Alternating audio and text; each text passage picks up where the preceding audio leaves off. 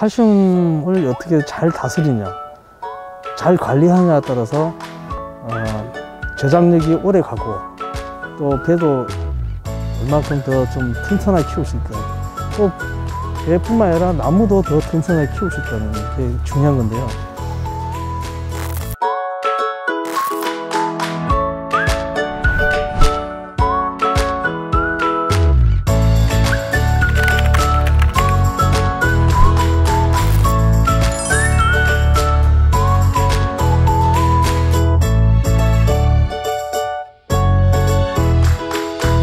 주로 식물은 이 나무 안에 보시면은 가운데가 해백질이에요. 해백질 안에 있는 모든 하얀 살, 그게는 다 물관이에요, 물관. 그러면 이제 체관은 요 부른케라고 그 사이 있잖아요. 그 사이로 이렇게 이제 체관이 있어요. 이 물관, 물관의 넓은 이 물관이 이 모세 혈관이잖아요. 아주 미세한 혈관인데 미세공 사이로 이제 뭐 다른 물, 물이 거의 다 따라올려, 물. 물 빼놓고 따라오는 게 뭐가 있냐면은, 이제 칼슘. 칼슘하고 붕사가 따라올라와요.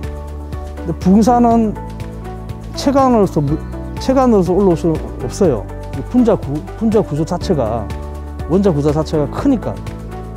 커서, 어, 칼슘이 제일, 칼슘도 크고 하다 보니까, 이 가운데 물관으로 쫓아와. 아까에서는 미- 체간으로 못 올라오고 체간으로 영, 뭐 영양분이 올라왔다가 다시 내려오고 이렇게 지- 지정을 하고 왔다는데 나머지에 못 올라오니까는 붕사하고 어, 칼슘만 이 체간으로 어, 저 물관으로 올라와야 되는데 물관으로 올라와서 여기까지는 잘 올라와 이 몸체까지는.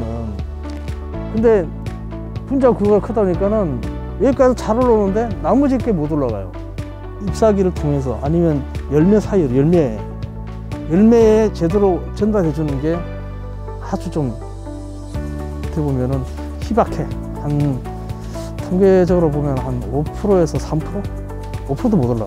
한 4% 3% 그래서 이 방법을 잘 깨우쳐야만이 어, 칼슘이 안 들어가면은 칼슘이 제대로 안 박혔으면은 충분히 공부 안 되면은 배가 여물어요.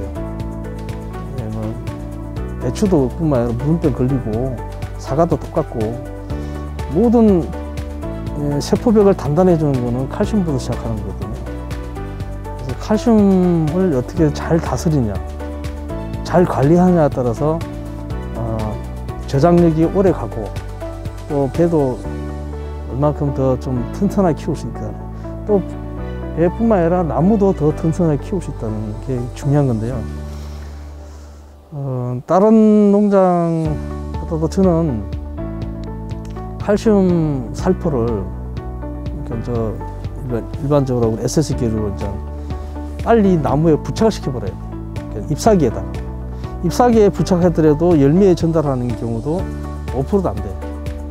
그러면은 제일 좋은 방법은 열매에 집중적으로 칼슘 분자들이 칼슘 영양소들이 원자들이 잘 붙어야 돼. 언제 잘 붙냐? 어, 한 40, 꽃 피고 나서 한 40일 전에 40일 전에 열매에 기공이 열릴 열매에도 똑같이 기공이 열려요. 그러니까 어떤 얘기냐면은 숨을 쉬어요. 잎사귀가 보통 숨을 쉬잖아요. 이제 탄소 동화종에 배웠잖아요. 그 이산화탄소 산소를 내리듯이 그때 이 기공이 열렸을 때에 필요한 영양가를 전달시켜줘야 돼. 근데 이거를 기공이 닫혀버리면은 주고 싶어도 못 주는 거예요. 그리고 배는 봉지를 싸잖아. 봉지를 되게 우리 중부지방 경우는 6월 15일 전에 대충 다 싸요. 아, 늦더라도 6월 말까지 다 싸야 돼. 근데 어, 봉지 싸기 전까지 뭐 계속 주면은 한들 열매에 열매에도 이 기공이 닫히는 시간이 있어요. 어릴 때는 유각기 처음에 1차 썼고 배를 알맹이가 있으면 백꽃이 피면은 아까 제가 말씀드렸죠. 백꽃이 뭐 4개가 필 수도 있고 6개, 8개, 최대 8개까지 핀다고 그랬잖아요. 여기 한 촉에서. 그러면 그 중에서 우리가 뭐 저희는 다 인공 수정으로 이렇게 손으로 다 찍는데 어쨌든 간에 얘가 수정이 되면은 뭐 운이 좋으면 여덟 개 다 열매가 맺힐 수 있고 그렇지 못하면 우리가 수정을 딱 하면은 두 개, 세 개 정도 이게 딱 열매가 맺힌단 말입니다. 그러면 그게 처음에 한, 한 2주일, 한 보름 정도 지나면은 얘가 정도 윤곽이 나와요. 조금 그래도 쓸만한 거 아니면 삐뚤이 있는 거 다 제거해버리고 괜찮은 거면 놔둘 거 아닙니까. 얘를 나중에 이제 키워서 우리가 봉지를 싸는데 보통 얘가 기공이 열려 있는 게 보통 한 45일이라고 그래요. 45일. 수정되고 나서 45일. 45일 안에 에, 필요한 웬만한 직접적으로 분사해서 쓸 만한 그런 영양소는 다 전달시켜줘야 돼요. 그러면 칼슘이 에, 잎사귀에 전달하는 것보다도 열매의 기공이 열렸을 때 최대한 많이 얘한테 부착시키면 돼요. 그렇다고 보면 매번 주라는 게 아니라 한 일주일에 한 번 정도는 꼭 그때에 칼슘을 살포를 해서 어, 칼슘을 많이 하는데 보통 제가 정확한 그 기억은 못하겠습니다만 배 한 개가 어, 칼슘이 얼만큼 필요하냐면은 어, 아주 미량이에요 미량.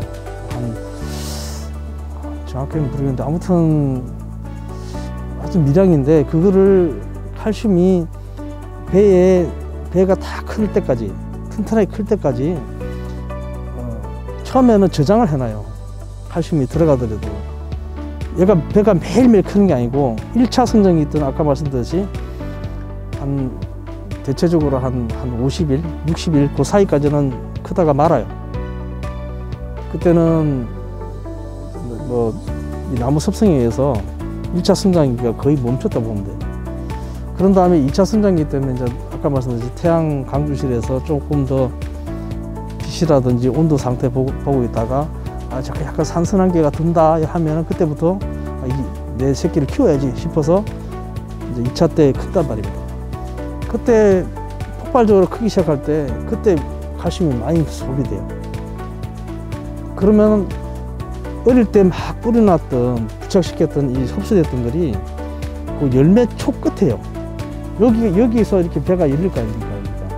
그러면 여기에 위에가 저장이 되는 게 아니라 그배 시작되는 그 꼭지 끝 부분에서 얘가 가지고 있어 칼슘 영양분들을 그러다가 필요할 때 되면은 전체적으로 쓴 만큼 쓰는 거예요.